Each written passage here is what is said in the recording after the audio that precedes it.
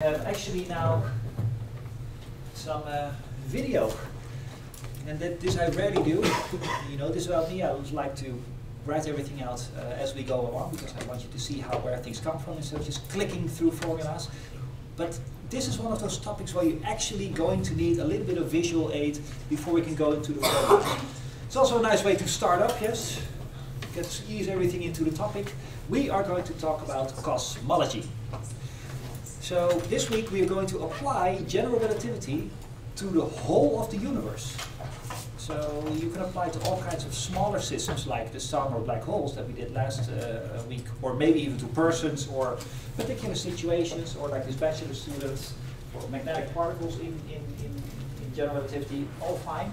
But you can also apply to the universe totality, without regard of exactly what goes on within the universe, how does the universe in its totality evolve in time due to general relativity. Now, uh, that needs a particular starting point. And we will get there in a moment. Uh, this is why I, am going to use some visual aids to get that starting point across. But first, just a question for you. If you're going to describe the universe as a whole in its totality, why, why, why look at general relativity in the first place?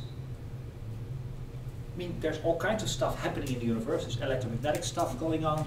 There's strong nuclear forces going on. There's weak nuclear forces going on. There is also gravity going on. But of all these forces, why is it that we look to general relativity to do the describing of the whole universe?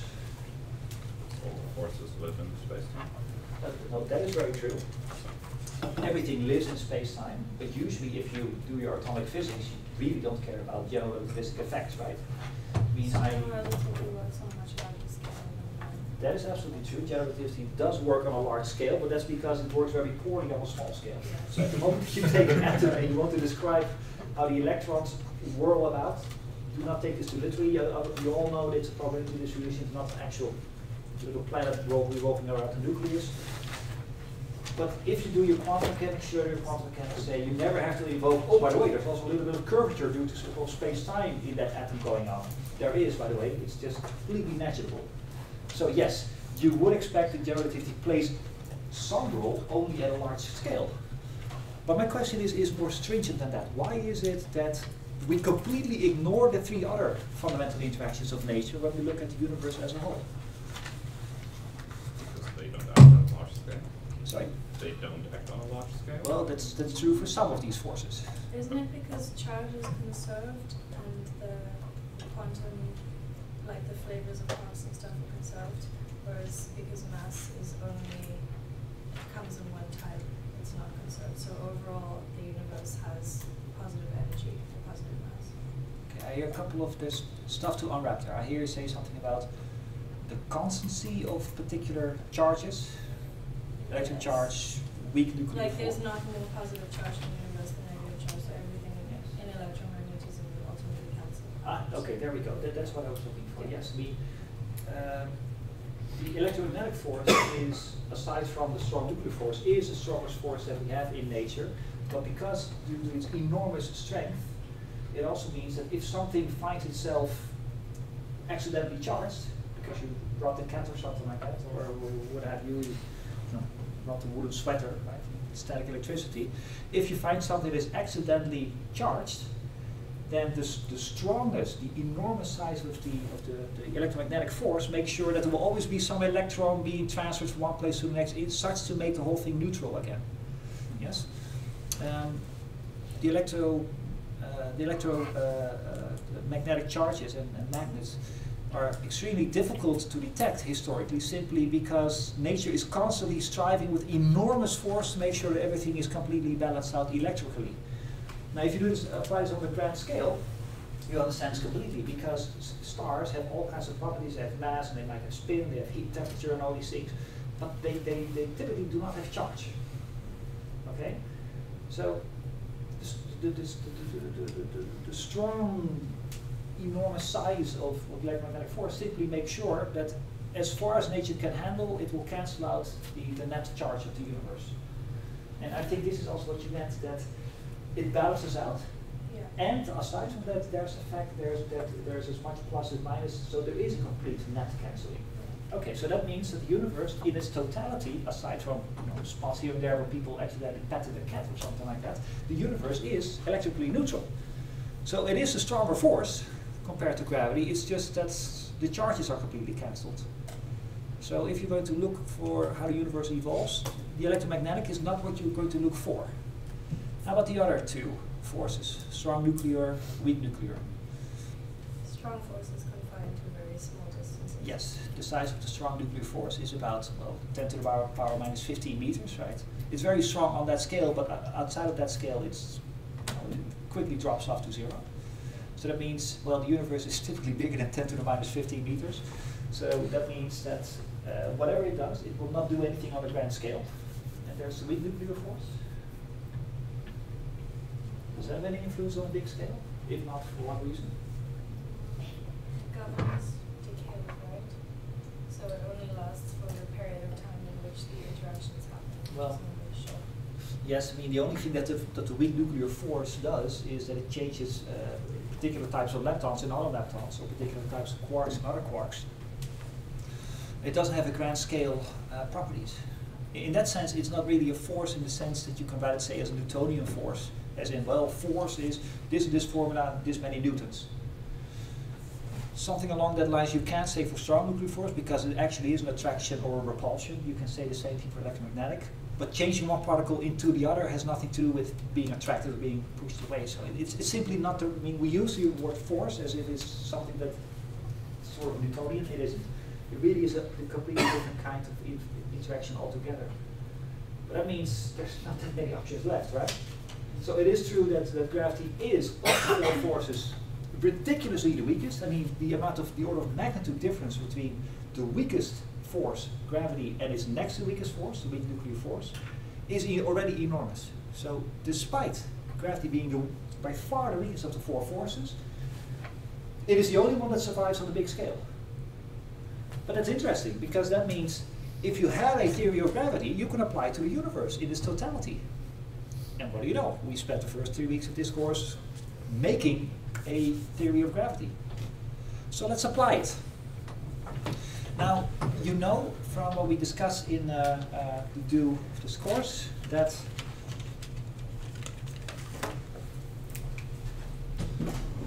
general relativity consists really, if you make it extremely simple, of two steps, right?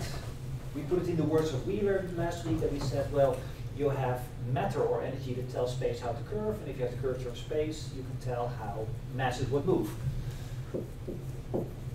We briefly discussed this equation.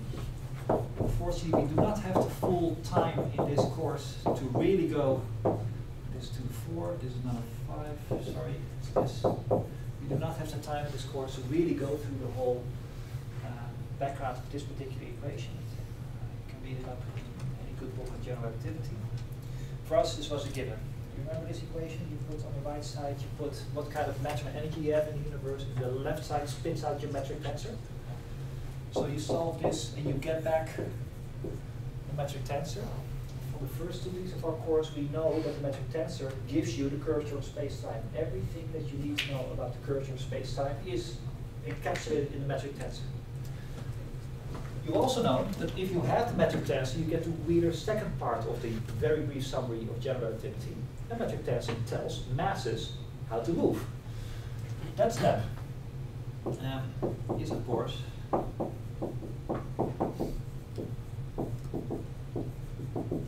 geodesic equation. So here's a brief summary. Now we have to apply these equations now to the whole of the universe. Okay? We cannot apply this equation if we don't have a metric tensor. We cannot apply this equation if we don't have the amount of energy uh, that there is in the universe. So it seems that we're sort of stuck in what's going to be our starting point. Typically in general relativity, is people tell you what the amount of energy and mass is, and you calculate the metric tensor and you take it from there. In cosmology, relativistic cosmology, we're going to do sort of the other way around. We're going to assume what the metric tensor is, and knowing or guessing what the metric tensor is, we're going to calculate how it is connected to energy and matter. Right? So you usually start with energy and matter or energy and matter and then you calculate the metric tensor. Now we're going to start with a educated guess of what the metric tensor is and then see what the energy and, uh, and, and matter should be in the universe to make that work. That's going to be the idea. Now, once we have a metric tensor, and we know how it's connected to the uh, energy and matter in the universe, then we can do our Christoffel's and, and calculate how things will move in that universe. So, so that is the plan for this time. And you will be amazed, I hope, how ridiculously far you can get about the, the whole dynamics of the universe just by this very simple series of steps. All right, so that's the plan. Let's put it into perspective. Again, it's one of the very few times that actually we're going to have some visual aid aside from a marker and a whiteboard. We're going to uh, make an observation about the universe. The observation, let's start with this YouTube one. This is a video.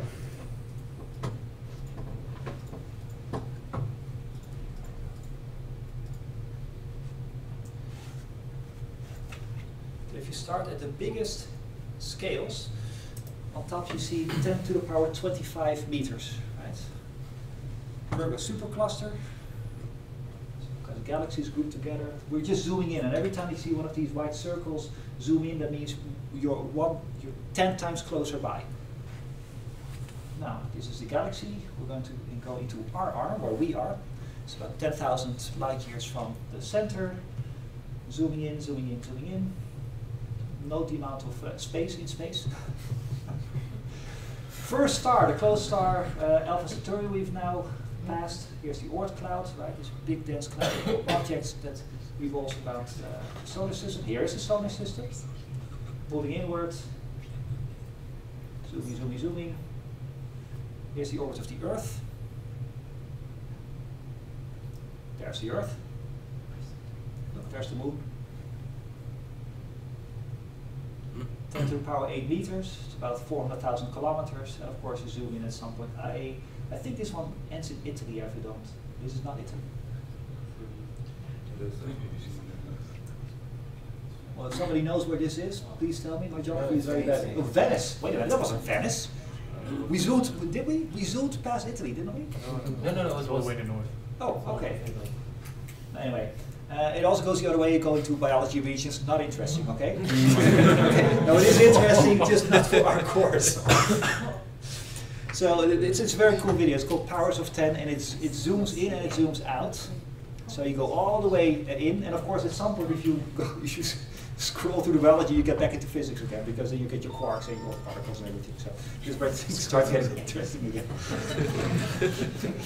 um, the observation that I wanted to make with this video is this part. Do not tell the biologists, by the way, I'm really just joking.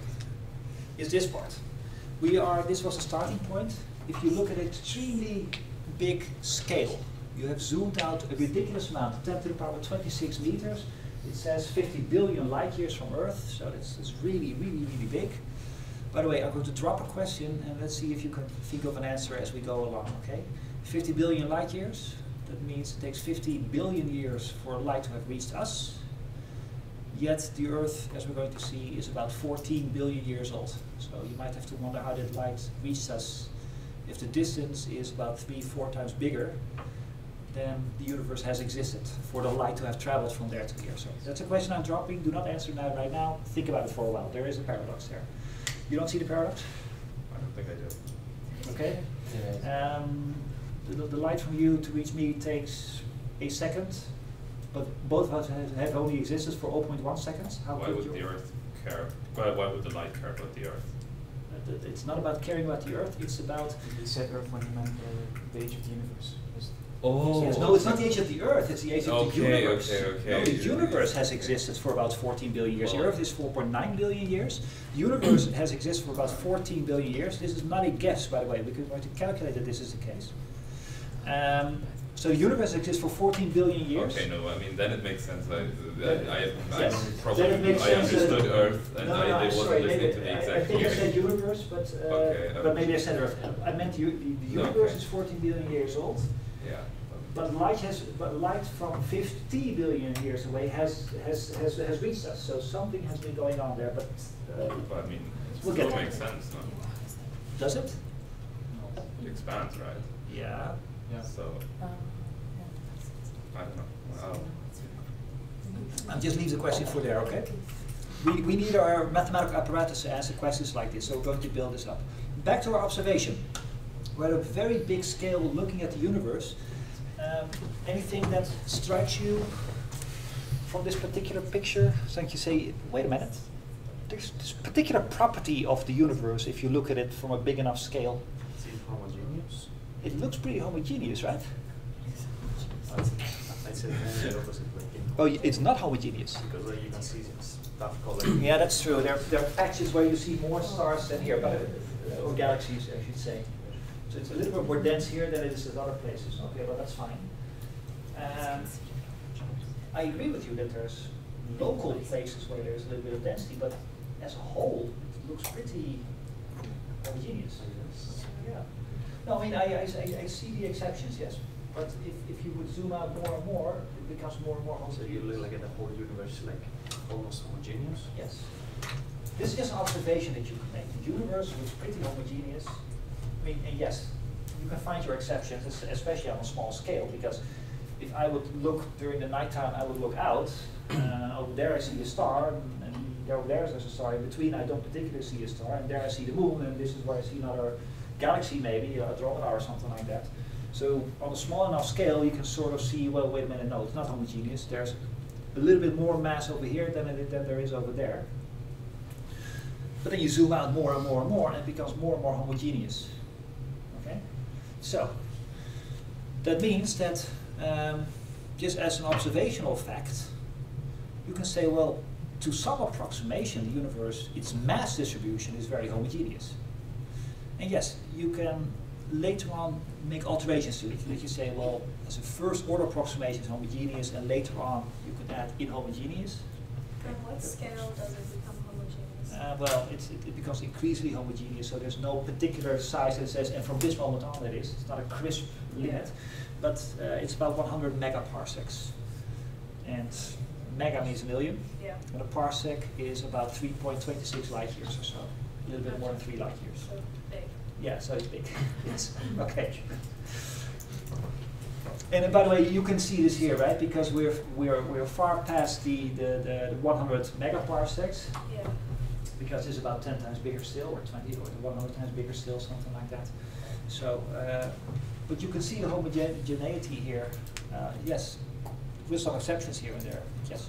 I have a question. I'm not sure if it's relevant, but Okay. uh, would this be the picture of where all the galaxies are now, or where we detect them to be? Because that would make quite a lot of difference, I think. Yes, that is a good point. Um, it is a relevant question. Of course, what always what you are seeing, if you point out your telescopes, is, is where they where they were when they sent out the light. So, um, so that's the answer. Okay, I was just thinking maybe they did a calculation or something, because obviously if you just look at this, then you can't say this is what the universe is like, because No, you're ninety right. percent of No, it is there- basically there- out of date. I know there's there's travel time in between, and you can correct for that. It doesn't does not change homogeneity, by the way. It, Okay. it just means that that they that they, they that they are now maybe further away than they than that they used to be. Uh, but it doesn't change the fact that they were evenly distributed. Okay, so the large scale structures stay the same. Yes. Well, let, let me put it this way. The density, the amount of galaxies or matter that you would find per cubic light year or so, that number changes. But the fact that every cube that you would take in the universe has that same amount at any moment in time, that has stayed the same. So not the number, but the fact that the, whatever the number is, that that number is the same everywhere. Th- That property has stayed the same. So this is called homogeneity, yes? Um, so this at, at some point was just, you know, a happy observation. Apparently the universe has a equal distribution of mass around the around its, its, its, its amount of space. That's fine. But you can make a stronger statement still, and this was done in the 1960s. It's a famous story that you might, might have heard before, and that is that. Um, you can also look at the energy distribution of the universe. This is just matter, where there's stuff that you can actually touch. Probably burn your hands because stars and everything. But you could do a little bit more. Because all these stars and all these cities in the universe, they also send out energy, typically in the form of photons, or neutrinos if you want. But let's, let's focus on the photons for now. In the 1960s, people started measuring the photons that came to the Earth from different parts of the universe. So the only thing you have to do really is just get, your, get yourself a big photon telescope, which I think is just the same as saying a telescope. Right? Just collects light. You have to make sure that, uh, that, that it, it collects light of the right wavelength because the photons that arrive at the Earth are typically uh, uh, extremely uh, red in the sense that its temperature is about uh, 2.7 kelvins or so. It's, it's ridiculously red-shifted light. You know this because the universe to you looks black and it does not look red. But if you, as you, as a biological fact, you had grown up with infrared eyes, then it would have been a beautiful red night sky every night.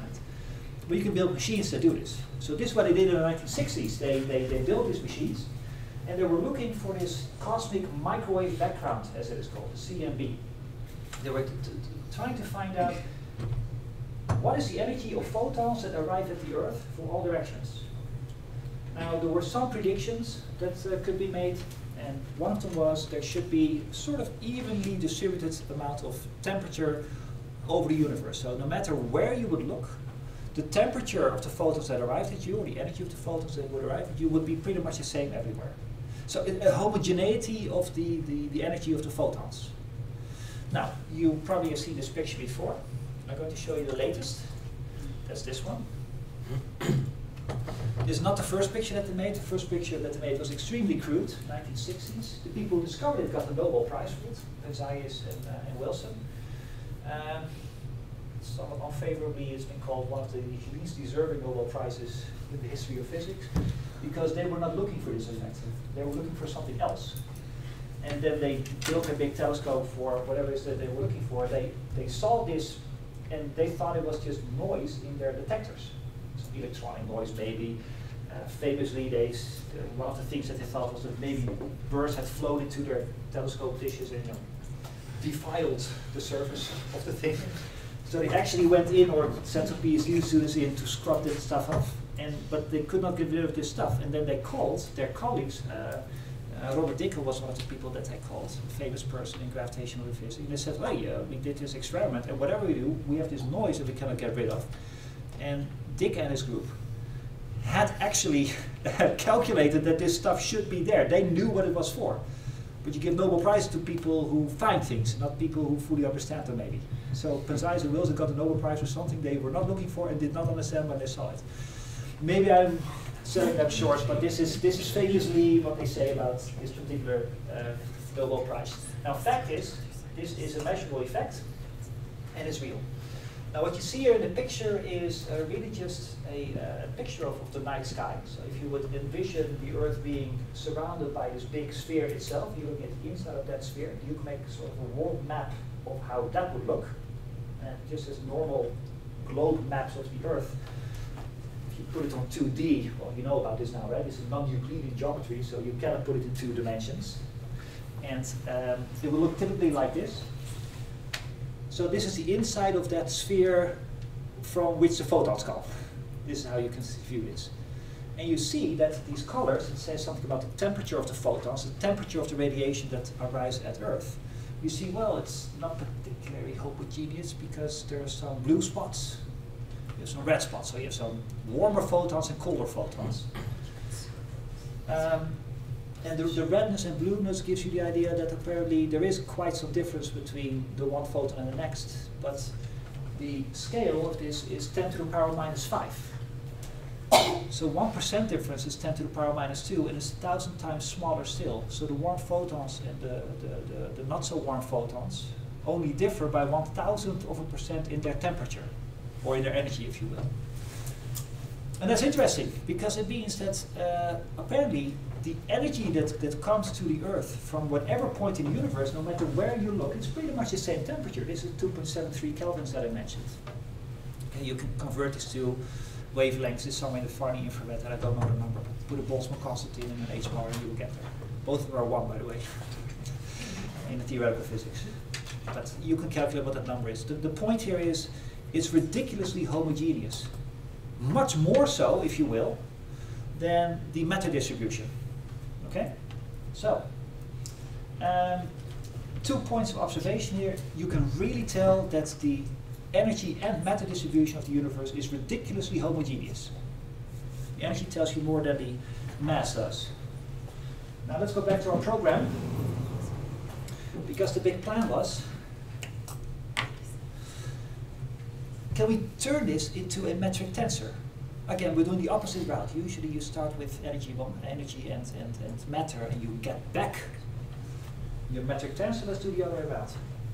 Let's try to think of a metric tensor that corresponds to this ridiculous homogeneity of matter and energy. By the way, that statement that the universe is ridiculously homogeneous in its matter and energy distribution is called a cosmological principle. Yes, you write it with capital letters because it's a starting point of relativistic cosmology. The cosmological principle, in fact, let's write it down myself. The cosmological principle states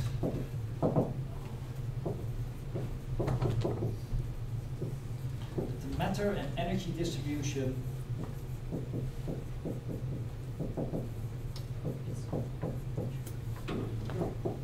in the universe is homogeneous.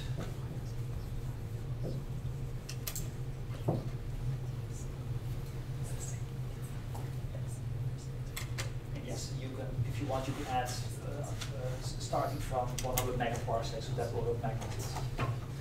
By the way, the statement is a little bit stronger, actually. And what we are now saying is that uh, it looks homogeneous from our observations, but it, it maybe for some reason it is not homogeneous, it just looks homogeneous from this particular point in the universe where we are looking. Does that make sense? Unlikely. It, it will be unlikely, but maybe there's some reason that we don't know of that says, well, there's only one point in the universe from which the universe looks homogeneous, and if you would have looked at any other point, it would not have been homogeneous. What happens to me? And it happens to be exactly the Earth. Uh, you would be, you would be surprised how many people who are of extremely religious conviction make that point. No, that happens really. And, and, and really, if you think about it, there's no reason, in principle, to say that that is not true. We Well, can just go to the moon. and Yes, yes, but, but you, but you need, Ah, you need 100 megaparsecs, yes, before you might see any deviations from that. So going to the moon and then doing your check is not, is not a good check. And nobody knows how to do the 100 megaparsec uh, uh, uh, travel thing. So the, the statement is a little bit stronger. So maybe it's not just true that the universe is homogeneous. Maybe that's also true at any moment, at any point where you would care to look. So there's another word that comes into play. It's called is isotropy. So let's add that.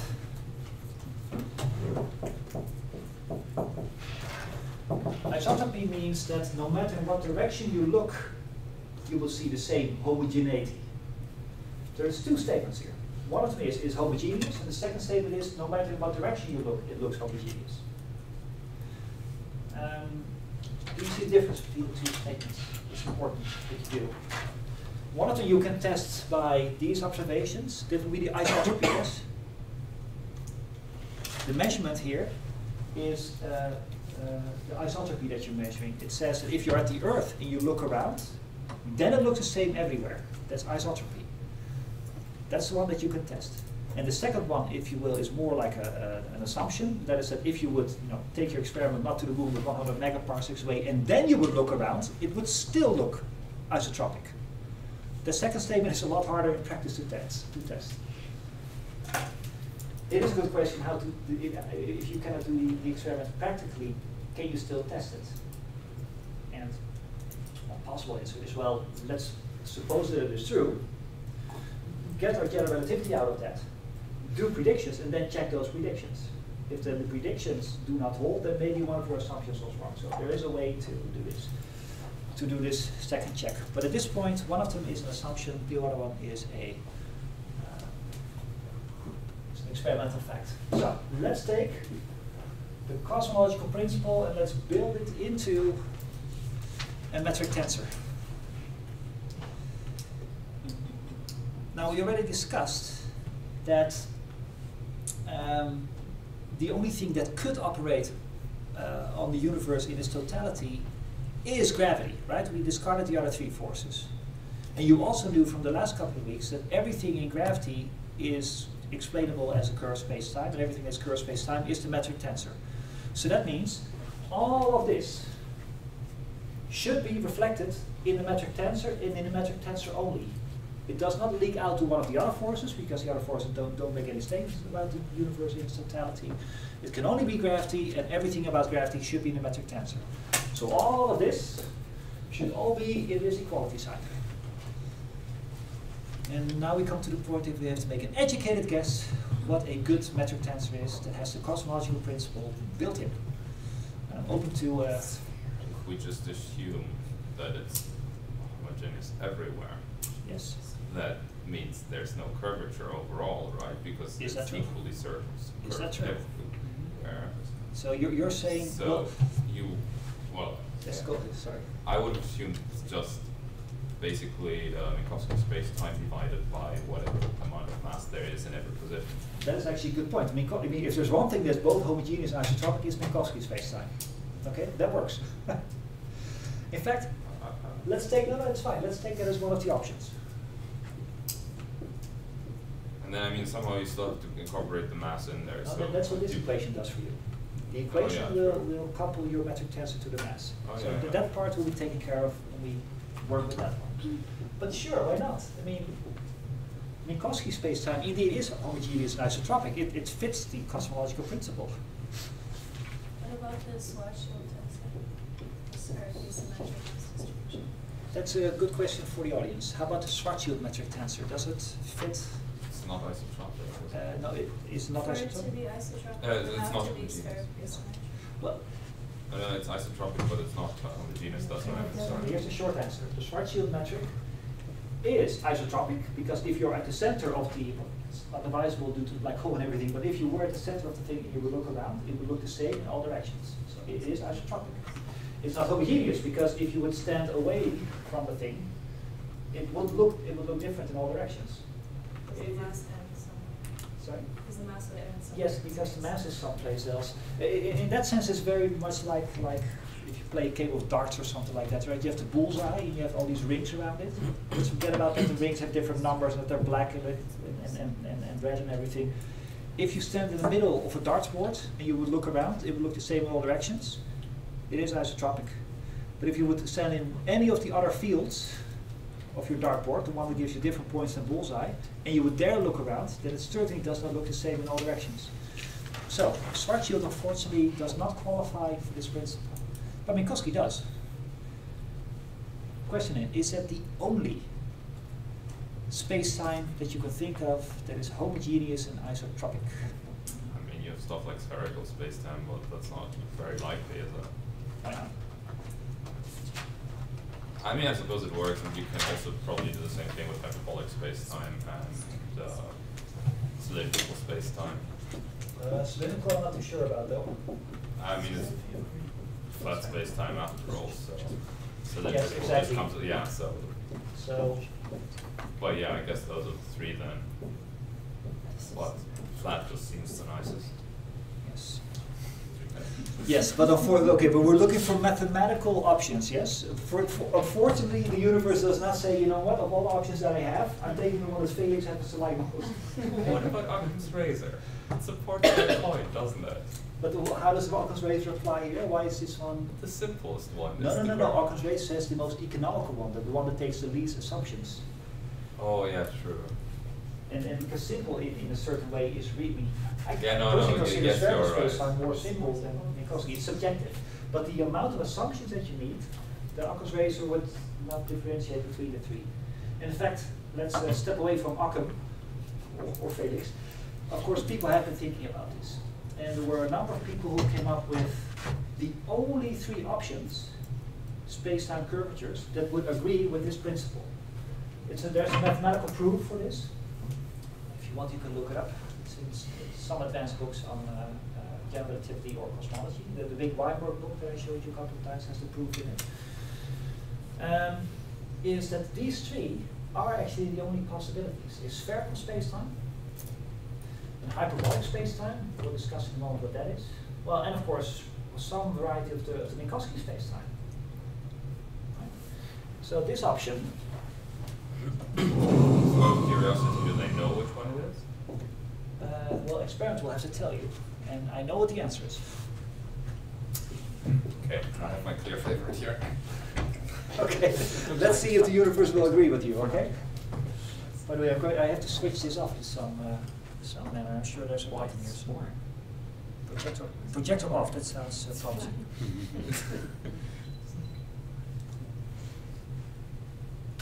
Okay, good. Uh, Minkowski space-time Makes no sense to me. is, let's make this grid here. It doesn't matter whether you're standing here or standing over there, in any direction you will see as many of these grid points uh, as in any other position that you would have cared to look.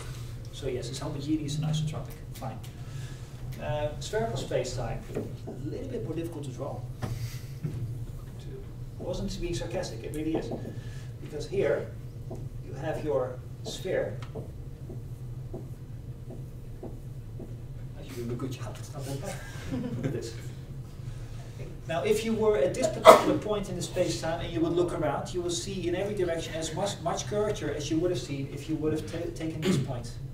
Not so much my picture maybe, but, uh, right? I mean, if you would be standing on the surface of a beautiful spherical symmetric object, in every direction you would look, you would see the same. Now, the reason why it's a little bit difficult to fully envision this is because we're not talking about a two-dimensional sphere from which in principle you could still look up, look outward, because then it might look different. I'm talking about suppose that the whole universe is all on this sphere. There's no extra dimension that you can point out to point inward. In order to do that correctly, I need to draw the surface of a four-dimensional space-time sphere. And that I don't know how to do. Okay? So I, I, can, I, can, I can make this point by taking a two-dimensional sphere, restrict ourselves to the surface, and you have to make a mathematical loop, uh, uh, leap in your head that you go to the surface of a four-dimensional. Well, no, no, actually, is it four-dimensional? I'm wrong there. Space-time is four-dimensional, but it's a statement about only space. You need the surface of a three-dimensional sphere. The surface of a three-dimensional sphere. So that surface is, is three-dimensional, and the sphere is well, hard to draw. So it's the cosmological principle only applied to 3D space? Yes. Not space? Yes, because the, no, it's, it's, it's a statement about space, not so much about the time, but the time will factor in in a moment, because you, as you know, in relativity, you cannot say, make statements about, about space without making statements about time. Finally, get a hyperbolical one.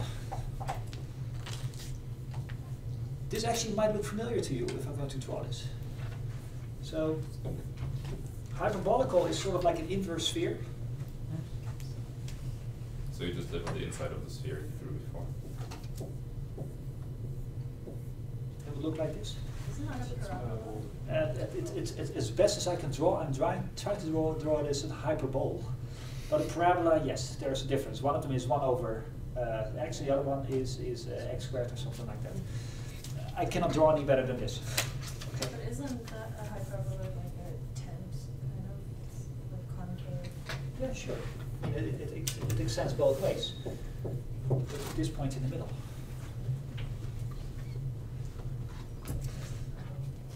So, yeah, as, as, best as I can draw. Uh, fortunately, at some point, there's mathematics that takes over.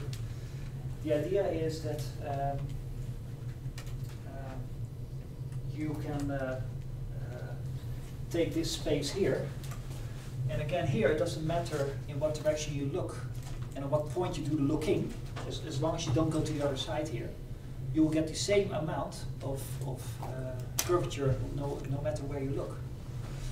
Again, my picture is completely imperfect, so I'm going to let mathematics take over in a while, and I'm going to see it explicitly. But if you stand at the bottom point of it, and it looks like the grid lines are closer together than if you stand that's wider. that I fully agree, but I, I fully admit that my picture is just not doing this, this picture service.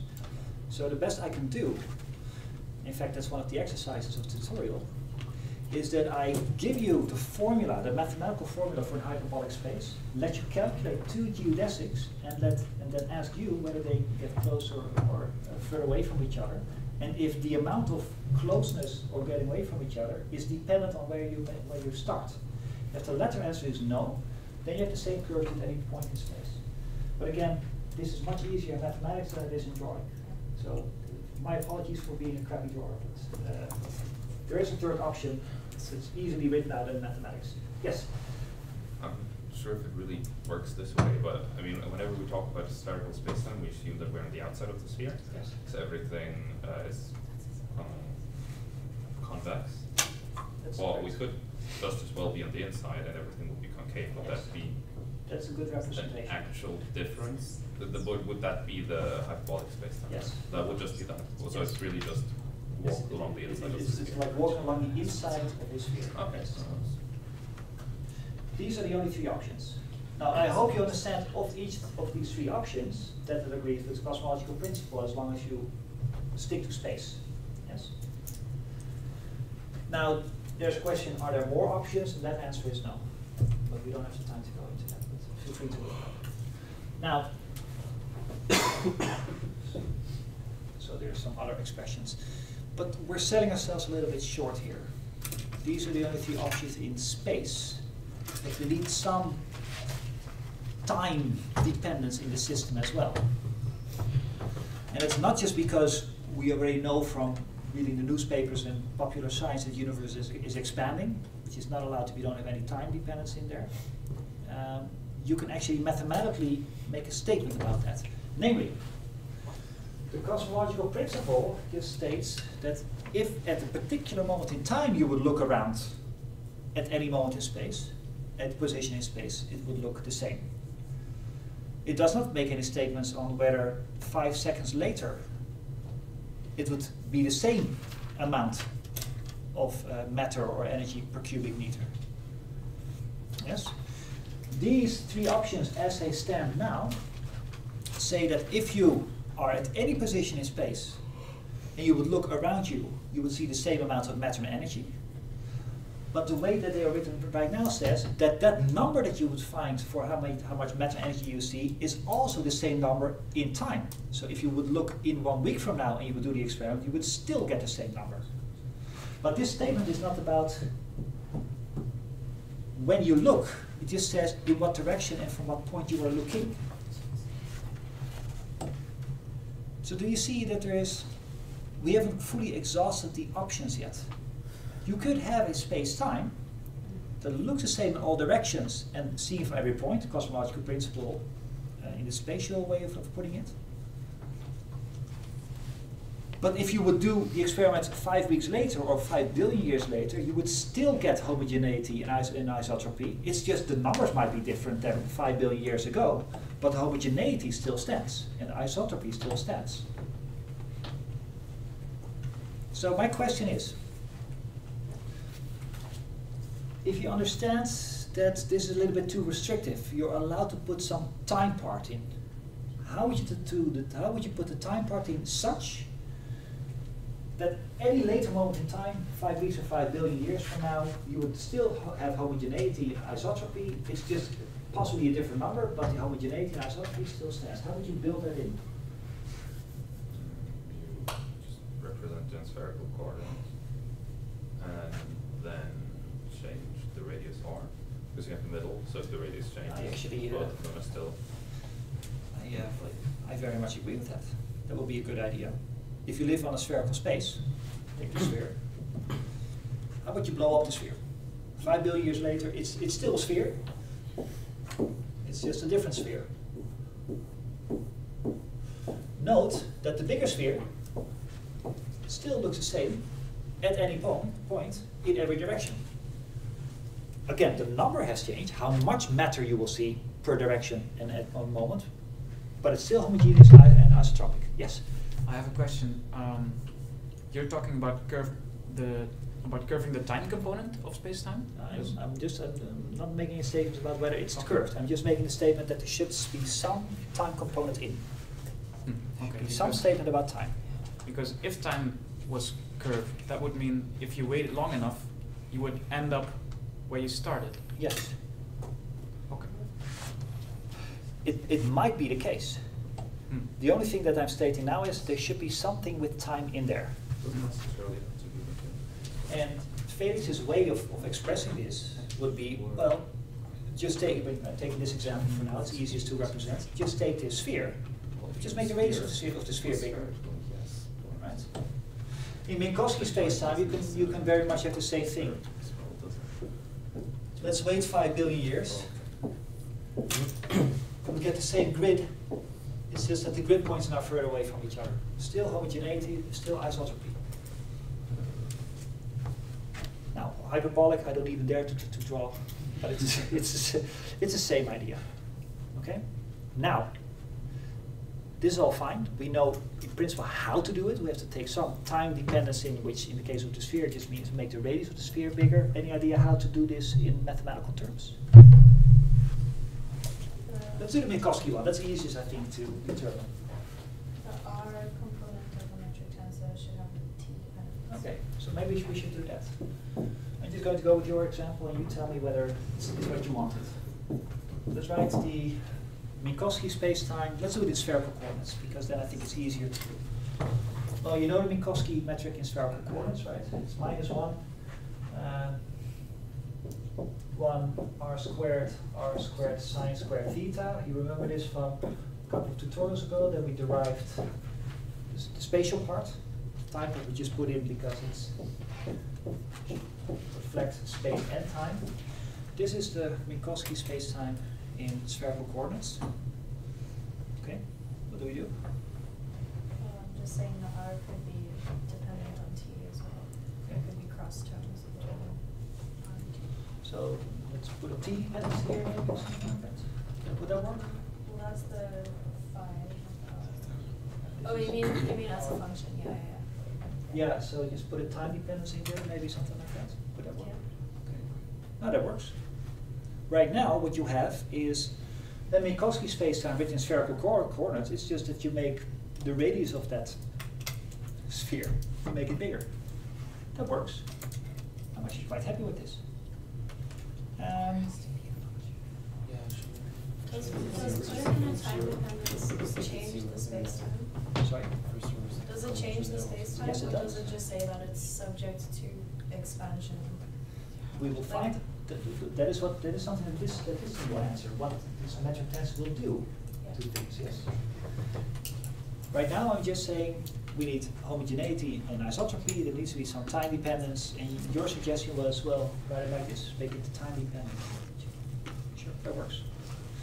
Now, let's try it out just for a second.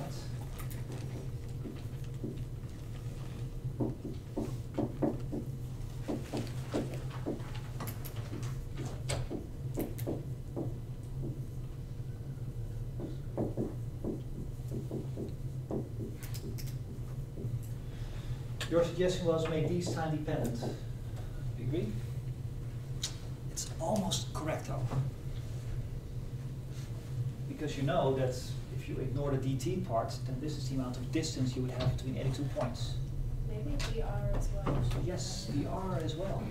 If you would only take these with an additional time dependence, you're just saying that the angles contract, not the mathematical sense, but get closer or further away from each other.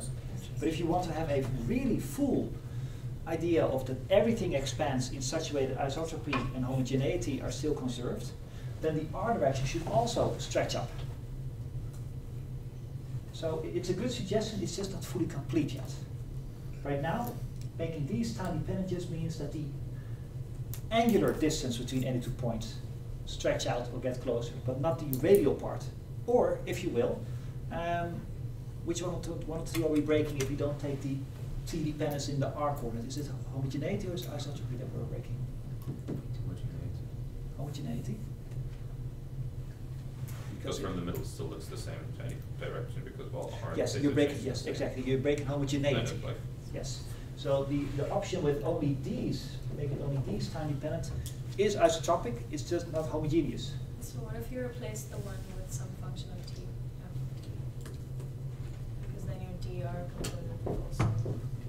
How about this? All the spatial parts get some overall function of t, you don't know what it is, that's to be determined. But whatever stretching you do in any direction, it's the same stretching in every direction, in any spatial direction. This would work. Because what you would have, so you would get an A here, you get an additional A here.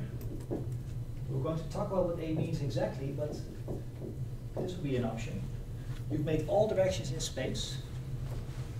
If they do some expanding or, or, or, or contracting, all directions in space would have the same amount. Can you just more time? Um, That is a good question. If you, let me leave that question for a second. It, it's, it, it- it's a good question and it uh, uh, has something to do with the Stormer statement still, that's called the, uh, the perfect cosmological principle. It's been abandoned since for fifty years or so. Um, But it, it, it, it adds a layer of subtlety that's, I would like to avoid for now. I, I will get back to it if you want. yes. But for now, we're just focusing on the, uh, the spatial parts.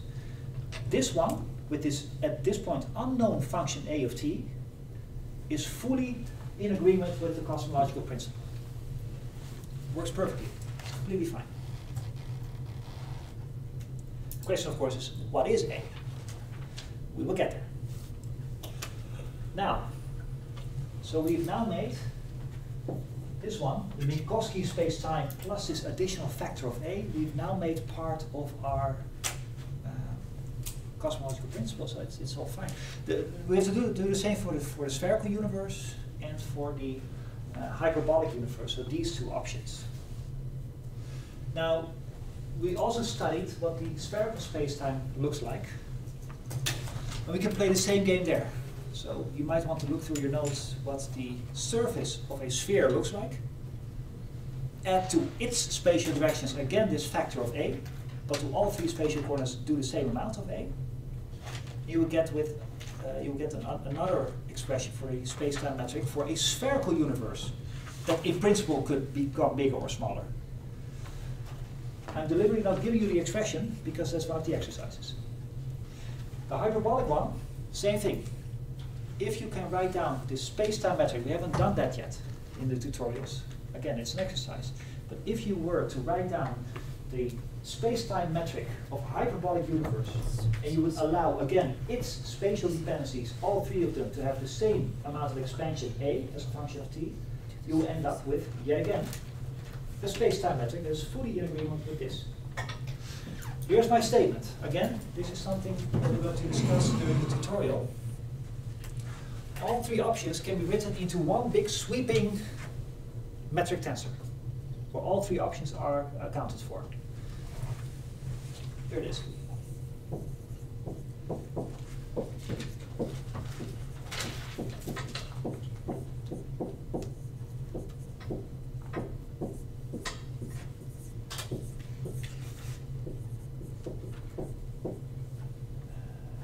That's-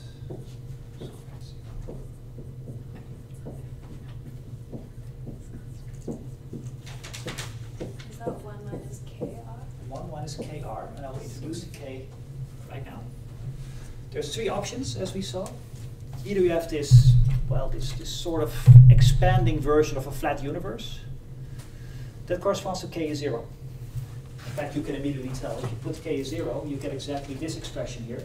By the way, for historical reasons, the A's come with a factor of, with the square on top. I introduce it as an A, as I say, there is some function there, historically speaking, they write this function as A squared. So you can immediately tell if you put K is zero here, you get exactly this option. The Minkowski version of an expanding universe. This one's called Minkowski flat. Oh, excuse me, K is zero.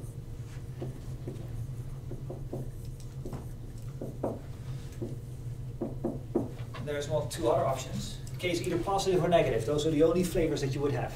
Now you can talk about whether that positive number is 5 or 1 or 533. If you want, that's just a measure of how you define your units. How many meters is one meter in the universe? It's, so there, there's, there's no point in talking about exactly what that positive value is, as long as it, as it is it's positive. The case one option, that's a spherical universe.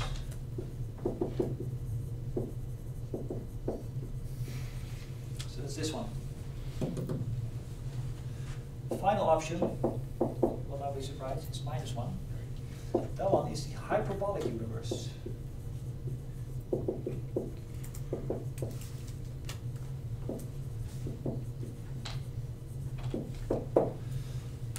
Again, the derivation of this full metric tensor is one of the exercises of the tutorial. So, you have some fun uh, there, I think, to find out how that works. This metric is what we were looking for in our program. We were going to look for a metric tensor that agrees with the cosmological principle. Now put it into the Einstein field equations, the equation all the way in the left out there, and then get back what the corresponding energy and uh, matter must have been in the universe to end up with either of these three options. Before the break, let's take that to its final conclusion, and then after break we're going to use the resulting equation to actually predict some uh, evolution of, of the universe. All good on this part? Good. Because we, fully, we haven't fully exhausted yet the cosmological principle. We've used it now to specify what the metric can look like. These are the only mathematical options that you have. But we can use the cosmological principle one more time.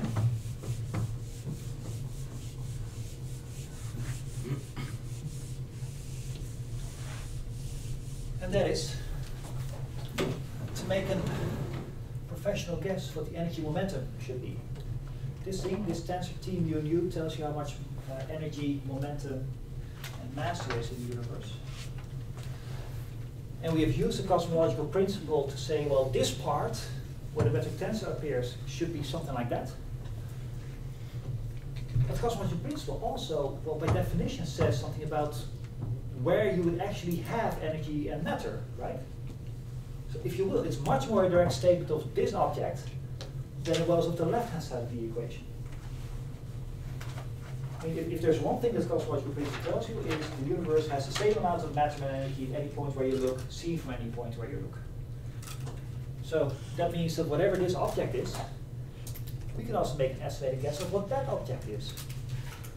Now, if you were to compare the universe to something that has the same amount of matter everywhere, is there something in physics that you would think, you know what? This particular entity in physics has the same matter everywhere. It's a very roundabout way of asking very, something very simple. Anything that you could think of that no matter where you would look in that thing, it has the same amount of matter? Would that be a black hole? Uh, no, no, no, that doesn't, because it, it it ends with its matter uh, outside of 2m, Uh, how much size are we talking about? universe size. Well, not the universe itself. Yes, but you know, the, the, the, yes, that is, it's true, it's just tautology. I want you to express the universe in terms of the universe, That's, that's, that doesn't work. No, guys, it's much more simple. Think of something, make it, s- s- scale it into a small size, something I can hold in my hand, and it has the same amount of matter everywhere. A sphere? Sorry? A sphere? Uh, that's the that's the amount of curvature that would be the same. We've already used that. It's the amount of matter. It's actually quite simple. This is one of those times that you think, oh, that's what the guy meant when he asked. Are you talking about a liquid or a gas or something? Like uh, there you go. How about a liquid or a gas? Just your basic thermodynamics. You take a glass of milk. If there's one nice thing about the glass of milk is, as long as you confine yourself to where the liquid is, it has the same amount of, say, pressure, the same amount of matter at any point in space. No matter where you look in the milk, you will find the same amount of milk particles. Don't, do not let the chemist hear this, what I say. Okay? Wait, so how is that different from a black hole? Like, if you're inside a black hole, Yes. then everywhere you look, there's the same amount of black holeness. Um, yes, but would you be able to write a black hole in terms of, of its matter content? No idea. Okay, well, we discussed this last week, and in the, no, no. it's it's not meant as, as, as, uh, as as to write you off, because it is a good point. A black hole, in, in, indeed, as long as you confine yourself to the black hole, it has the same amount of black holeness, no matter where you look in the black hole, it's true. It's just that the black hole doesn't consist of matter, the black hole consists of a particular uh, amount of curvature of space-time. And that means I'm, I'm, I'm going to put in in my energy momentum tensor something that itself is curved space-time. That, that would probably complicate the situation. We can do a lot better than that, or easier. Your suggestion is completely right. A liquid or a gas has the same amount of stuff everywhere that you look within the liquid or a gas. So, um, a brilliant person, Russian scientist called Friedmann, did exactly that. He said, you know what? I know how to write down the energy momentum tensor, that's how this thing is called, for a gas. It's a known expression. Now, where to get that expression from, this is where you have to do your Lagrangian physics in full detail. If you want to see where it comes from, I'm happy to supply you with the, with, with, the derivation. For now, we're going to take the thing as is. Okay? So, the, cons the concept more is now more important than the full derivation of the thing. But we are going to put the cosmological principle also in this thing. We're going to assume that the universe is filled with a gas. It's a very dilute gas. Okay? But at a scale 100 megaparsecs, you have about one universe particle, being a galaxy or something like that, per unit volume. And you have the same amount of these particles uh, everywhere, just like you would in a gas. So you might say this thing is just the energy momentum tensor that you would have for a gas. So I'm going to write down that expression right here. Here's the energy momentum tensor of a gas. Now, by the way, what numbers do you need to, to express a gas to begin with? Okay, I hear pressure, good, yes. Temperature. Temperature, volume, fine. That's, that, that's usually it, yes, for an ideal gas. And they're related to each other. PV is, is uh, proportional to the temperature, with the amount of particles in there. Um, that's all correct. Um, all of these, well, uh, let's take one step back. If you want to describe a perfect gas, its equation of state is this. I'm sure you saw this at thermodynamics or physical chemistry or something like that, yes. Where n is the amount of moles. R is the ideal gas constant, here's the temperature, here's these things. Uh, the big point is you only need three of these numbers. You need its pressure, its volume, and its temperature. If you think about it, you only need two because this equation tells you what the third one is in terms of the original two. So you might as well say, you know, I only need two numbers to express the gas. It's up to you to decide whether you want to take pressure and volume, or pressure and temperature, or volume and temperature. That's up to you to decide. In cosmology, people do away with the temperature part. You can put it back in using equations like this, but you need only two numbers, and the numbers they typically take are the pressure, not the volume, but the energy density. How much energy you have per cubic volume of, of, of, of in this case, the universe. So, this thing is going to be an expression of the energy density of the universe and its pressure. Now, I hope you agree with me, pressure is probably, probably going to be small, right?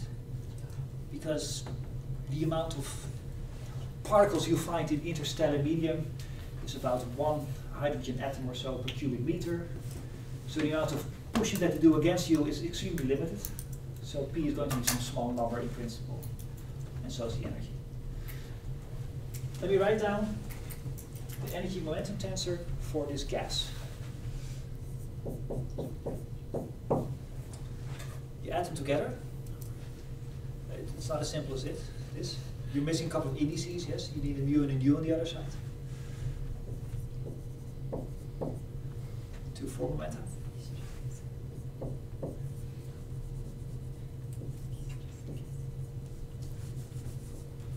Here's your metric tensor in which the gas happens to live, this particular curved space-time, times the pressure itself. Now this expression, that indeed you can write the energy and the mass distribution of an ideal gas in this particular way, is a statement from Lagrangian physics. Uh, I'm going to provide you with, with a reference to see where it comes from for the people interested in Lagrangian physics. But conceptually, I hope you understand that this is possible. You can write the energy momentum in terms of only the pressure and only the density. By the way, pressure and density, are these position dependent?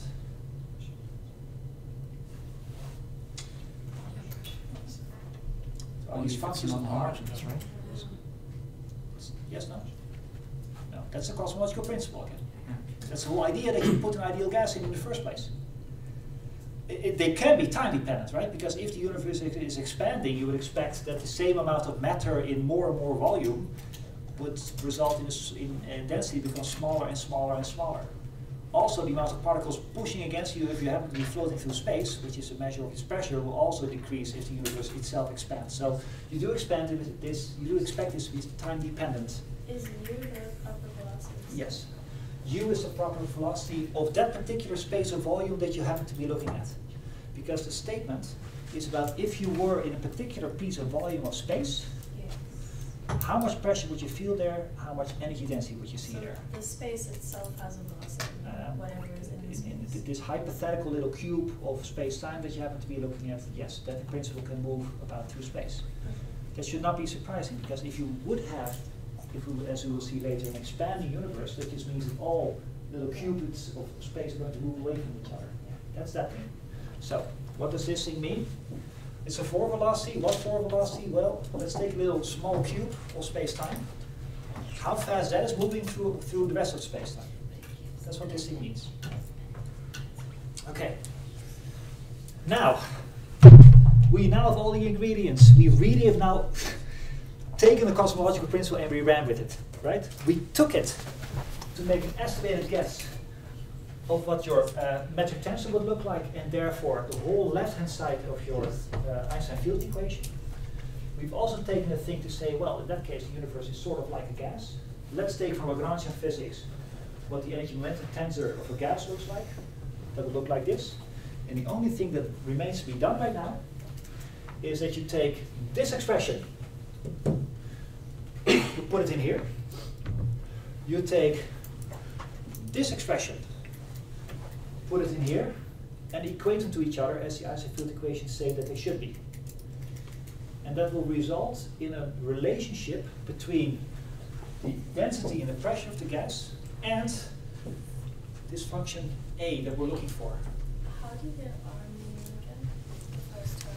uh, Again, that is an exercise I'm going to give to you. Because I, I didn't mention the thing once, RMUU is called the Ricci tensor. And it's a very particular combination of derivatives, be careful now, of derivatives of the Christoffel symbols. And yes, you, we're not going to do ourselves any favors by calculating uh, these things by hand. But do you need to know the metric tensor to know that? Yes, yes, the thing is completely metric tensor dependent. So if I give you the metric tensor, you can calculate the Ricci tensor. And if you have the Ricci tensor and you take its contraction with g mu nu itself, this, then you end up with this thing here. Now, it so happens that because of the extreme benign way that this metric tensor looks, many of the Christoffel symbols are going to be zero. We've seen this before in some situations, and therefore calculating the Ricci tensor and the corresponding Riemann tensor is going to be, well, it takes a little bit of time, but not enormous amounts of time. You can easily see this is going to be zero, that's going to be zero, that's going to be zero. So, again, it's a mathematical step that I happily give back to you.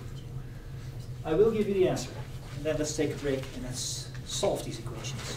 So, you put all of this together, this and that into that, you end up with only two equations.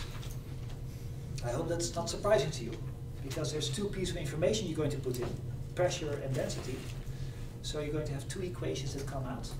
But both equations will only specify one function. That's the only one that's un unspecified. So you sort of have going to have two equations that both of them try to specify this one factor of A, and I hope you see that if two equations are fighting for dominance what A should be, there's only going to be very restricted answers to that problem. Those are the actual uh, expansions of the universe and, and possible contractions of the universe. Let me write down what the resulting equations are. They're called after the guy that I mentioned before who came up with this idea. They're called the Friedmann equations, two of them. One of them says, take this thing, this A, by the way, the thing is called the scale factor, because it scales up the universe or makes it smaller. You take the scale factor, you take its time derivative. Dot just means derivative with respect to time. Then divide by the scale factor itself equals 8 pi over 3. That 8 pi is just this 8 pi.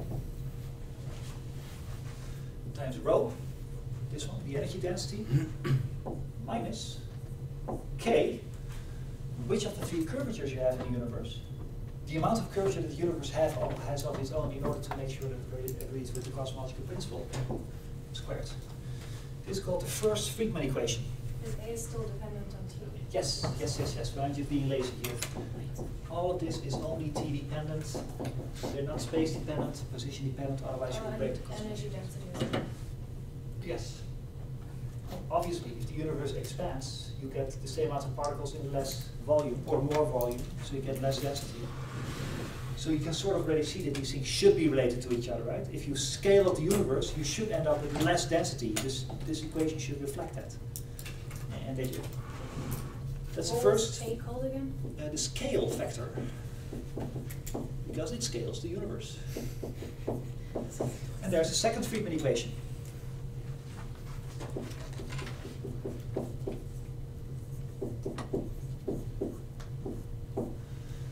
Minus 4 pi over 3 times the energy density plus 3 times the, uh, the pressure. And maybe if you give it a little thought, you can understand where the 3 comes from. Where does the pi come from? Is that just because we're using spherical? No, the pi comes directly from this term here, Where does that pi come from From the Dirac delta function. Okay. Uh, If you remember, uh, at some point I gave a very brief explanation where this equation comes from in the first place. And I said that if you want to describe the curvature of space-time, gravity, but you know the gravity has something to do with accelerations, then you're going to need at least two derivatives of the metric tensor. That means that you have to take derivatives of the Christoffel symbol, because that gives you a second derivative. There's an, uh, an equation or a theorem in, in tensor theory that says if you want to write down the most general tensor that can be written as second derivatives of the metric tensor, so you're looking for whatever tensor that can at most have two derivatives of the metric tensor, then it's always going to be this thing, Ricci tensor minus or plus some number times this combination. So that's just a, a theorem from mathematics. Every tensor that should be written as sec- second derivatives of the metric tensor has always this form. And then Einstein thought, I just have to look for this number and that number. And both he did by looking at whatever comes out should have a conserved energy. That fixes one of these numbers. And the other one says, and you should get, get, get back Newtonian gravity if you look at a situation where gravity is not too strong. So and the Newtonian gravity one fixes this number, that gives you the pi and the g. Those two constants in the Einstein field equation are the only physics in the equation. Everything else is just mathematics. Yes. Einstein himself was very fond of saying that general relativity is a theory that comes about almost by pure thought. There's very little physics in the, that went. The, uh, what went in there? Let's see. Let's see if we can get things, group things back together again. What went into general relativity to begin with? Reducing it to. Yes, the physics went into, you have to specify this number and that number. This number is specified due, due to the fact that whatever came out had to reduce to Newtonian physics, Newtonian gravity. This number has something to do with the conservation of energy. So whatever the universe or space-time does should have conserved energy. And we put the equivalence principle in. The whole idea that you can write space-time or gravity as a curvature of space-time, that's just a mathematical statement of the equivalence principle. So Einstein, in 10 years' time, just thought gravity should be a curvature of space-time. Hence, it should be written as this thing. Then Helmholtz theory takes over, then whatever comes out should look like this, and that's just finding numbers. So it- it's no idea why it took a genius 10 years to come up with that idea. It sounds so simple now, right, in retrospect. Anyway, your bigger question was where does this pi come from? That's that pi. These two, and let's have a break, but these two are the Friedmann equations. What we're going to do after the break is we're going to play around with them. We're going to say, you know what, let's take a universe that has so much matter in it and this amount of pressure. Let's calculate the A as a function of t. How will that universe scale up or scale down as a function of time? We're going to solve the Friedmann equations. Break first. All right. This mouse is just for you. Oh, you really? Yes, yes, yes. I knew it. I knew it. No, in all seriousness, I, uh, I actually show you what our first draft is. Yeah, that would be nice. Yeah, but I can wait till the academic advice. Yeah, yeah, that's in a week from now, right? Yeah, next week Friday. Yes.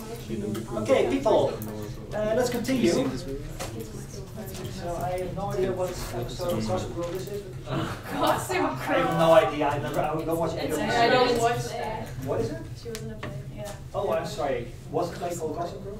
No, oh, Okay. it was absolutely nothing like Gossip Okay, Girl. okay, okay. Didn't want, didn't want to insult you. No idea. I, I, I don't watch any of these shows. So I have no idea what I don't show. either. But I hear that there's a series called Gossip Girl and that people watch it. Okay.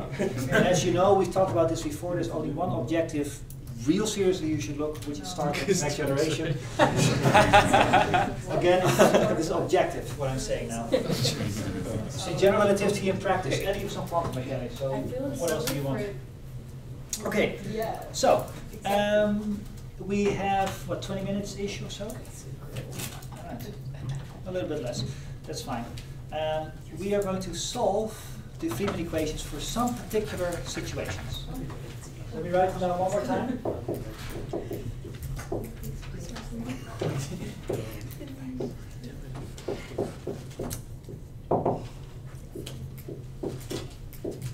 This is a uh, topic that is very close to my heart.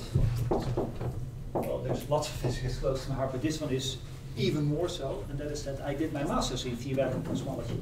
So I spent two years just studying the Friedmann equations, but super interesting is uh, what if you have an expanding space-time, and on top of that you put quantum mechanics. So you have quantum mechanics in an expanding space-time. So this is where quantum mechanics and relativity came together. Yes, they don't like each other very much, but uh, in some certain approximation it worked. And you, you, know, you get all these beautiful results. So unfortunately, no quantum mechanics here. It's just the Friedmann equations. These are the two. I hope you understand conceptually what they say. Somebody tells you how much matter and energy there is in the universe. These two numbers. And these two equations will spit out what A is as a function of t, and we already saw A as a function of t means that the universe is expanding. If A of t, uh, A of t becomes more and more negative, it means that your sphere, your Minkowski spacetime, or your hyperboloid becomes smaller, which means that all points in the universe are being contracted towards each other. Okay?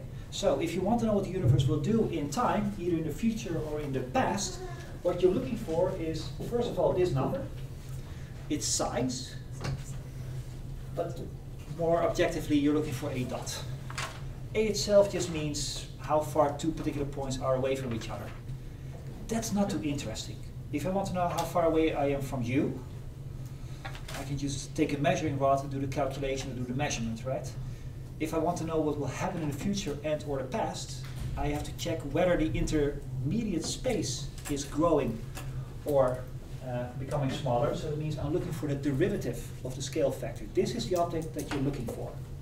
Why is it formulated as a fraction over a? Well, that's another way of saying that A itself really doesn't matter that much. Because whatever size, whatever, however it expands, is always related to how big it is right now.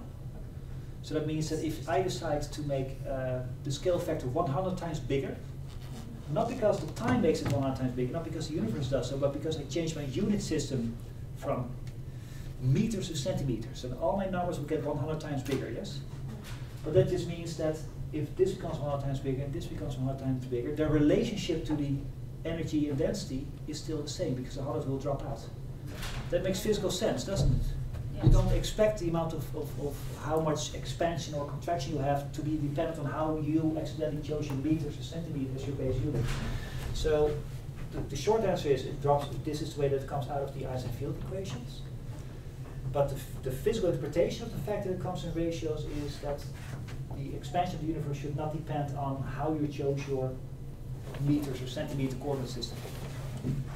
Now, if this number is bigger than one, that means you have an expanding universe. Every two points in the universe are going to be scaled up. Think about the sphere, two dots on the sphere. The universe blows up, then every two dots will lie further and further away from each other. If this is smaller than zero, it's a negative number, That means that every two dots on the sphere, or your Minkowski sphere time, or your hyperboloid, in time will get closer to each other and things contract towards each other. So, this means an expanding universe.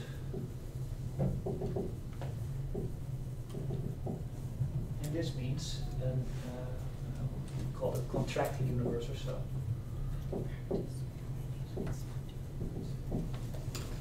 And before we actually put in any rhos and p's, any specifics, what kind of matter and what kind of energy you have in the universe, there's already just based on the mathematical way that these are written, a couple of conclusions that you can draw. One of them is, look at the second Friedmann equation if you will. Claim A dot dot is always negative. Can you see that that is the case from the mathematics alone? It comes with a minus sign, yes, but that's not enough.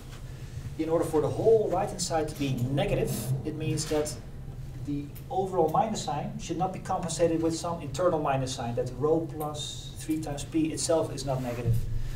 Can somebody make a quick claim why rho Well, plus can 3p is not negative? Pressure and energy density, right? Yeah, there, yeah, so So it has to be everything is positive. it has to be positive.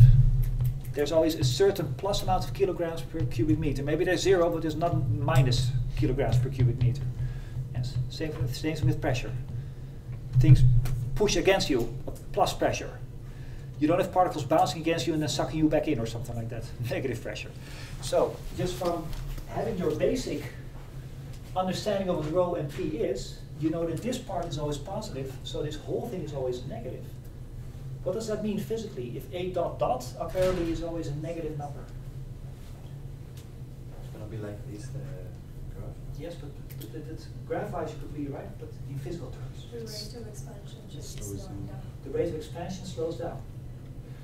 So it doesn't matter if you already start with something that was expanding or contracting, the amount of expanding or becomes smaller in time. So even if it started out expanding quite rapidly, this is a big number, a dot dot being negative means that this number will decrease. Even if it is positive itself, its change is negative always. To me, that makes physical sense. Because if there's one nice thing about gravity, is that it pulls things towards each other.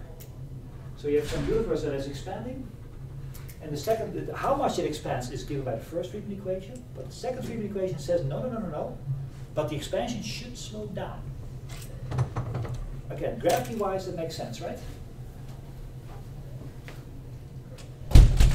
Trying to, trying to kick a couple of balls away from each other, but all these balls are connected by springs that try to pull them back.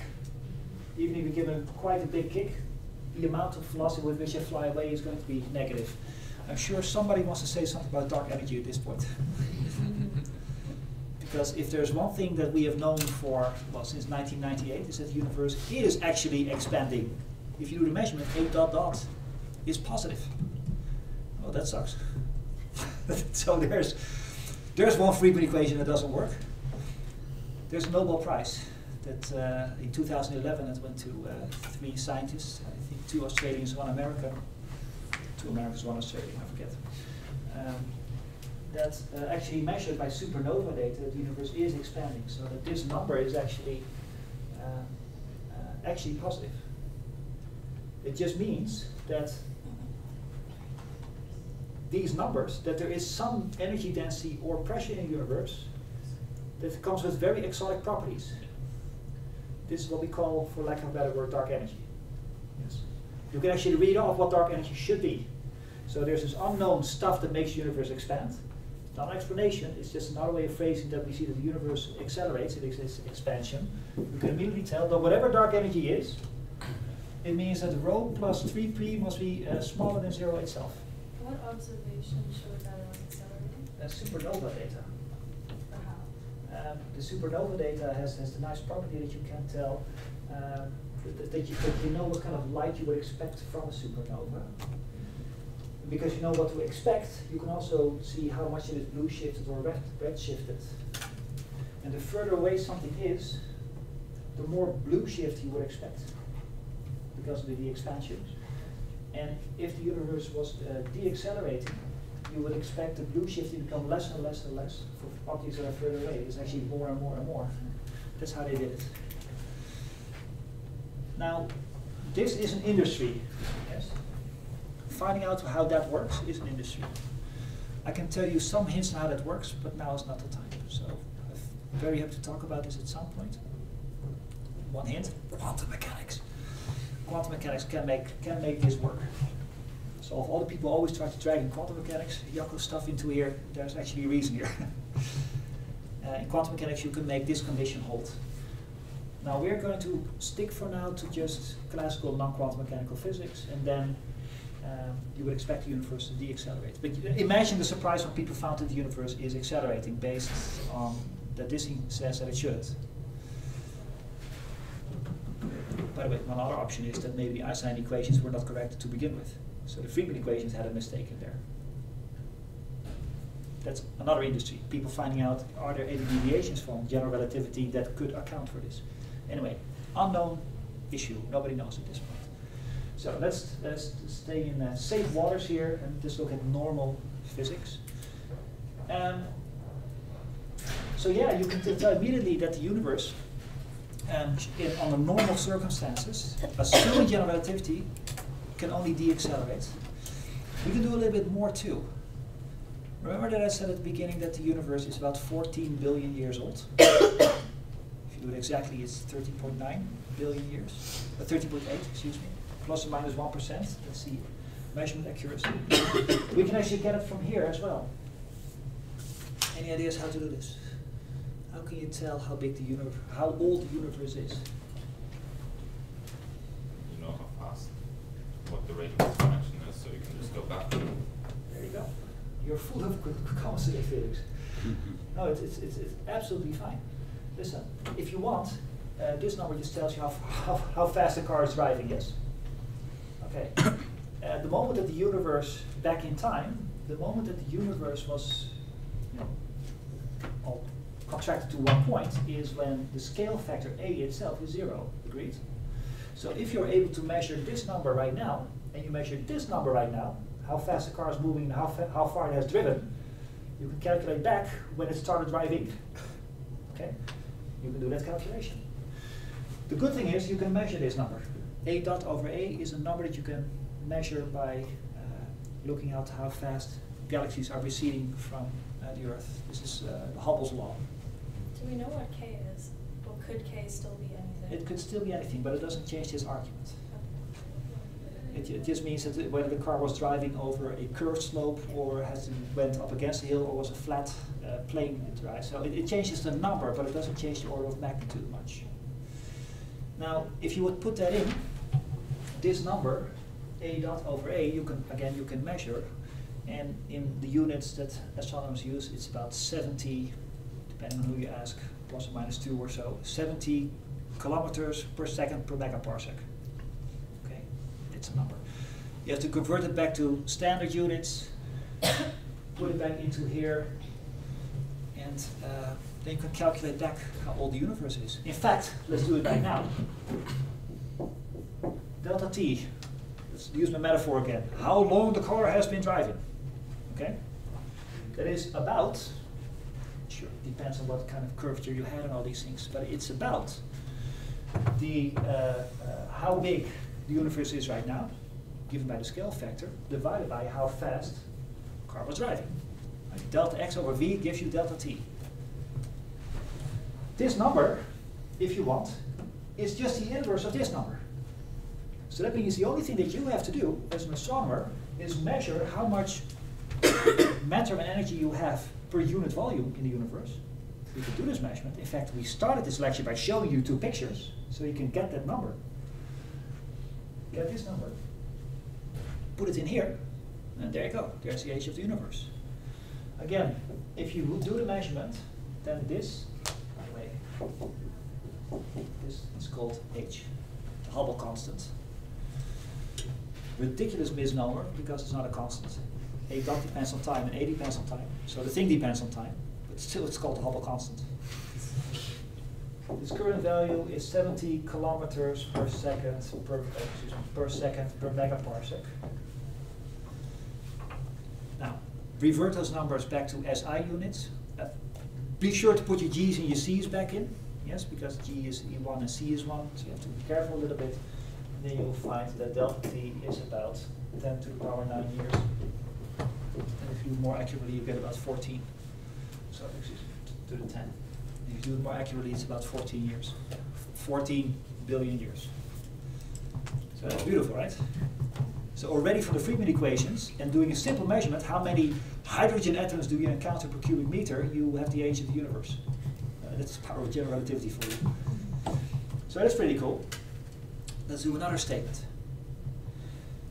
I'm sure at some point in your reading about the universe, because everybody finds this interesting, you have heard about the possibility, maybe, that the universe will contract. It will expand. We already saw that it stops, uh, uh, excuse me, that it, that it will deaccelerate at some point. If we leave out the dark energy part, then maybe it stops expanding, but the deacceleration keeps on going on because the minus doesn't go away and it starts falling back into itself. You can do that calculation as well. Does that happen? Again, now that we now now we know about the dark energy part, we know that it won't. Okay? But before 1998, before they did that measurement, one viable option was that the universe at some point would stop contract and stop expanding and contract back into itself, right? And some inverse Big Bang. Uh, big crunch is what they usually call these things. Well, we can make a statement about that as well. Do you agree with me that the, the, the statement that the universe will stop expanding and then contract back into itself means that the expansion velocity should have been zero at some point, at halfway point? Okay, so if you want a universe that starts to contract onto itself, at the very least what you will have is a universe that has stopped expanding at some point. has reached some maximum value for its size. That means A dot should be zero. This you need to fulfill in order to have a contracting universe. Let's take this one. It means left hand side of the first Friedmann equation should be zero. But that means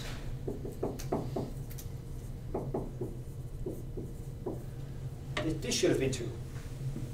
The only way that you can end up with a universe that does this big crunch thing is when the rho and the curvature are related in this very peculiar fashion.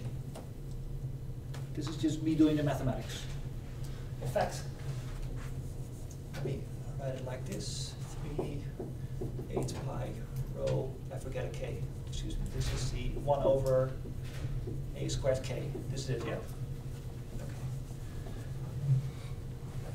For which of the three cosmological principle universes can this be done? There's three options, spherical, hyperbolic, and Minkowski flat. the one that k is bigger than zero, Yes, which is, uh, don't remember. Spherical. yes. Yeah, apparently, I mean, if you have a universe that is itself not empty, so rho is not zero, that means that left-hand side is a positive number. That means that right-hand side should be a positive number, and that the only way to make that work is when k is positive, which is indeed a spherical universe. So the only option that you would have for a universe that contracts back into itself would be to have a spherical, of the three options, have the spherical version.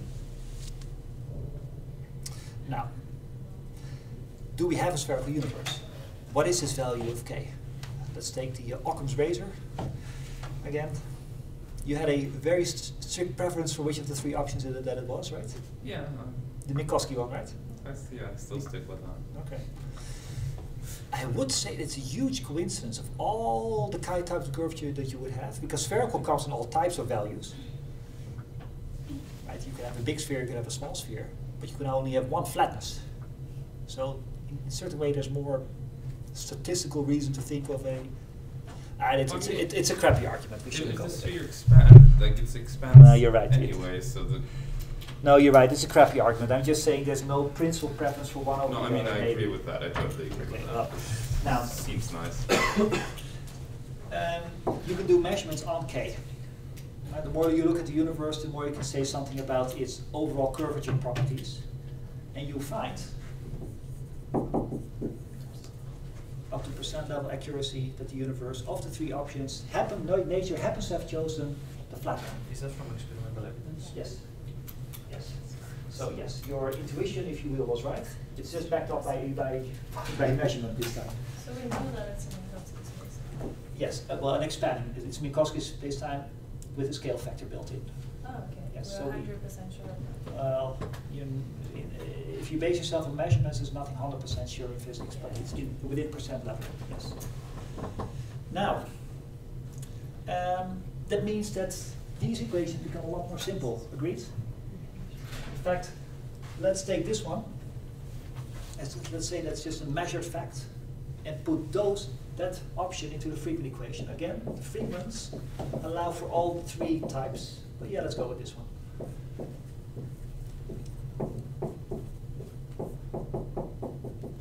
I over three rho plus three p. Oh, that cleans, that cleans up stuff.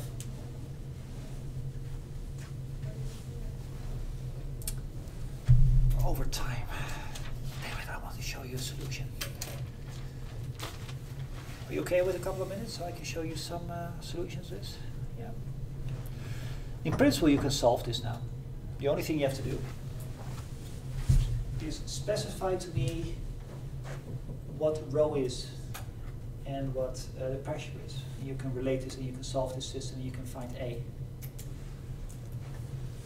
Now, um,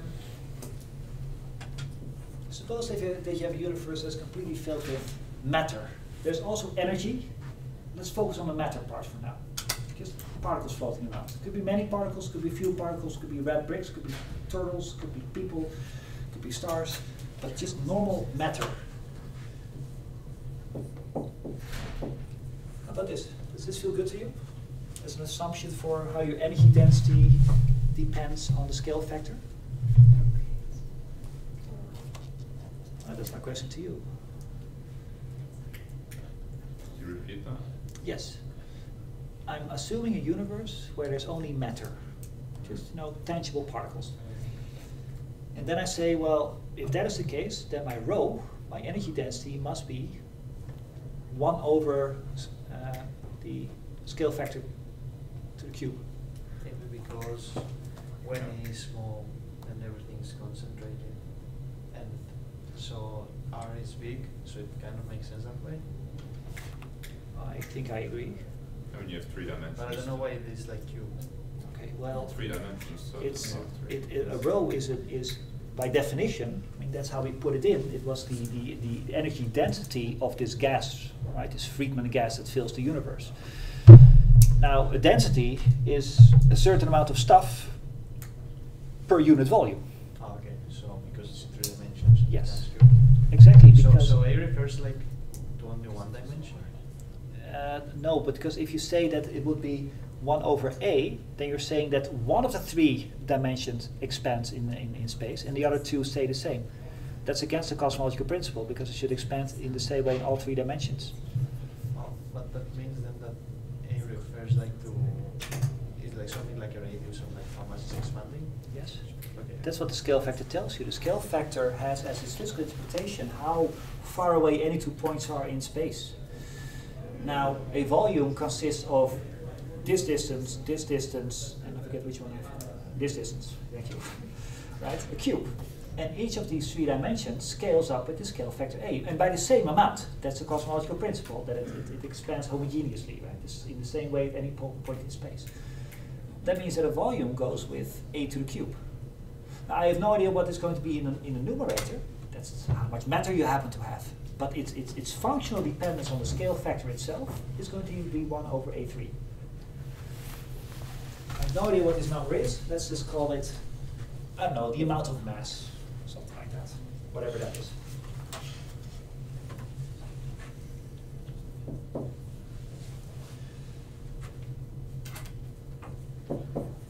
Suppose that you have a very empty universe on top of that. So there is mass, it's just there's not a lot of it. How much pressure do would you expect? Very small. Very small. Let's make it zero. Uh, It is close to zero. It's, it's one hydrogen atom per cubic meter. Yes? It's a small number. So yes, of course it's not exactly true, but it's true-ish enough. Just to give you an idea. That means the Friedmann equations just tells you A dot over a squared blah blah blah equals 1 over a to the cube.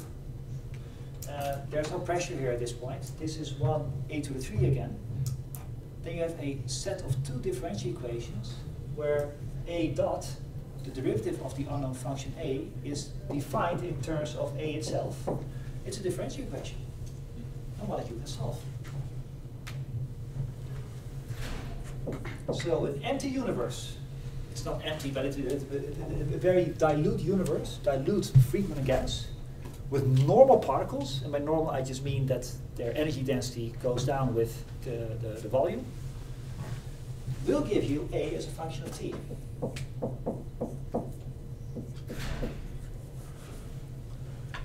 This is the solution to the differential equation.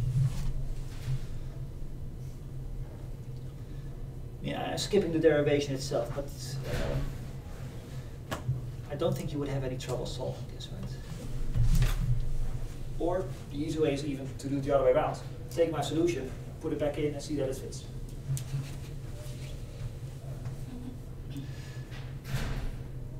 So how does this universe look? How does it expand? We have our A now as a function of t, so it says something about how big the universe is getting in time.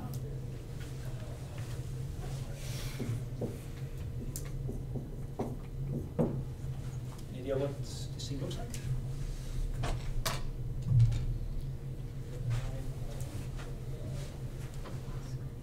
Well, does it get bigger or smaller? Let's start there.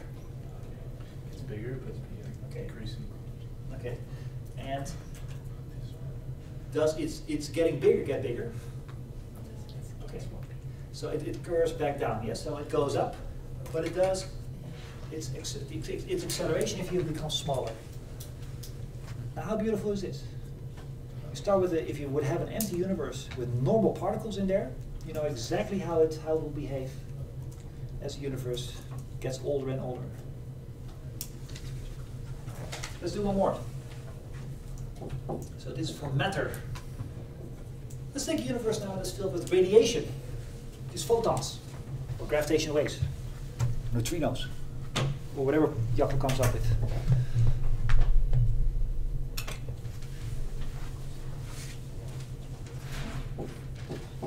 Energy of those photons.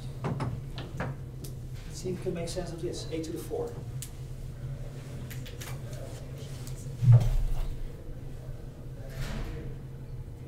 It's true. I'm just waiting for somebody to tell me why that is true. So forget about the matter particles. It's now just photons. And I'm saying as the universe gets more voluminous, density of the photons goes down not with a cube, but to a power 4. It's a cube mm-hmm. plus an extra scale factor.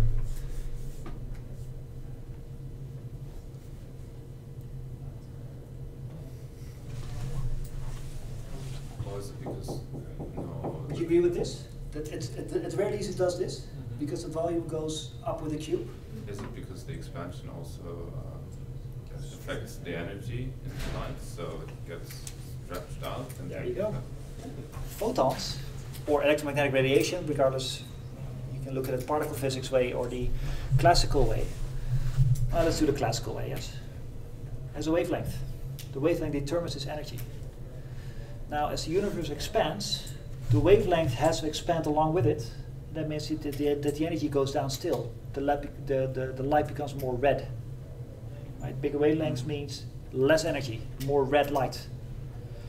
Now, that wavelength stretching only happens with 1A because the light is only traveling in one of the three dimensions. So you get one cube from the volume getting bigger, and you get an additional A due to the redshift, to the, to the stretching of the wavelength. So this will be indeed A to the 4. The pressure that corresponds to it. I'm just going to give it to you. It comes from electrodynamics. You can calculate uh, what the pressure is when photons start hitting, hitting against you. I mean, maybe you've seen this exercise before in some context. If not, that's fine.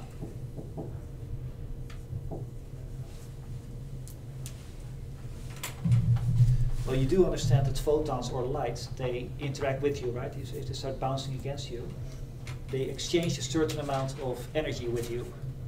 That gives you a little push. If you go through electrodynamics, you don't even need quantum mechanics. If you go through electrodynamics, then the amount of pushing obviously has something to do with how much energy they're transferring to you. So it is some relationship with the energy density. And if you work through the mathematics, you will find that the constant in between is one third. So thi- this is just a statement of photons bouncing against you, giving you a little bit of extra energy. So it must be P is something energy, and thus uh, then a number comes in. That number is related, comes from electrodynamics. Same exercise. Put rho r here is one uh, over a4. Uh, put p, put it in here. Gives you another one over a4. Solve.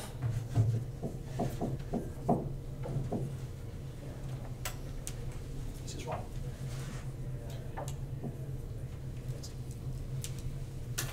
Get this.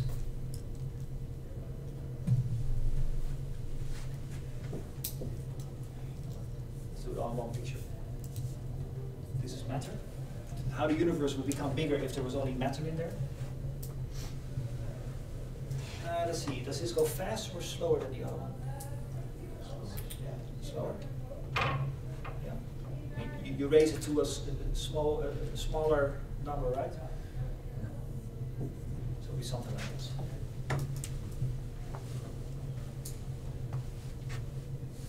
So if you have a universe, you just fill it with photons, it will expand. It will also slow down its expansion. But notice that first of all the expansion goes slower, but secondly, the deacceleration is itself a smaller number. So photons apparently tend to contract the universe a little bit less than matter does. It Doesn't feel too strange to me, to be honest. I mean, I'm used to matter pulling, pushing, pulling other matter, and photons do the same, but maybe not as much. you do actually find that back. These are just two examples. There's many more.